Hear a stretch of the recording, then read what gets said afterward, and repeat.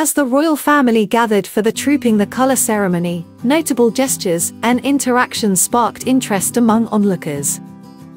According to a body language expert has claimed, the Princess of Wales made a swift head-turn gesture from Queen Camilla who appeared to give King Charles a stern pep talk at his birthday parade.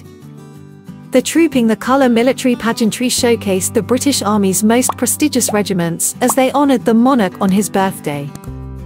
King Charles, riding a horse named Noble, participated in his first birthday parade as the reigning monarch, becoming the first to do so in over 37 years, as reported by The Mirror.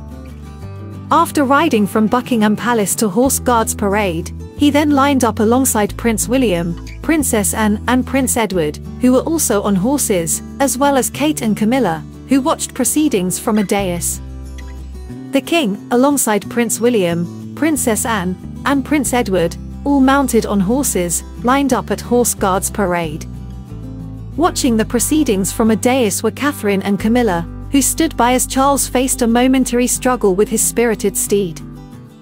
Body language expert Judy James noted that Camilla appeared to offer support, while Kate chose to stay out of the situation. She told The Mirror, Trooping the colour might have been slightly marred by the rather frisky horse that Charles seemed to be struggling with and which meant he rarely achieved the same kind of formal mounted pose that his son and siblings achieved riding behind him to the parade ground. Upon arriving beside the dais where Camilla stood, Charles seemed to express his frustration to her.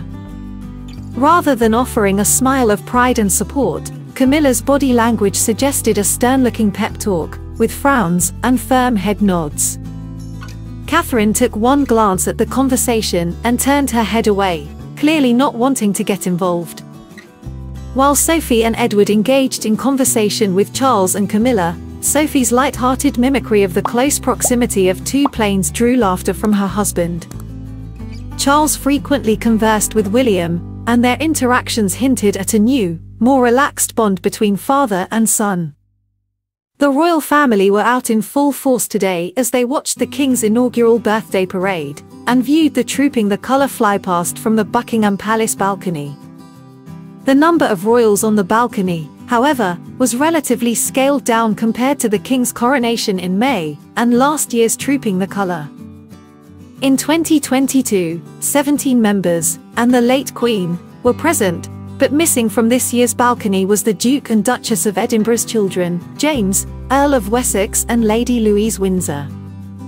James, 15, and Lady Louise, 19, also made an appearance on the balcony for the coronation last month. With this slimmed-down monarchy, there was more of a less formal, family feel to the balcony group. The reduced size of the balcony group created a more informal and familial atmosphere, reflecting the ongoing efforts to streamline and modernize the monarchy. As King Charles' reign progresses, experts suggest that a slimmed-down monarchy may need to further scale down their royal duties to manage the workload effectively.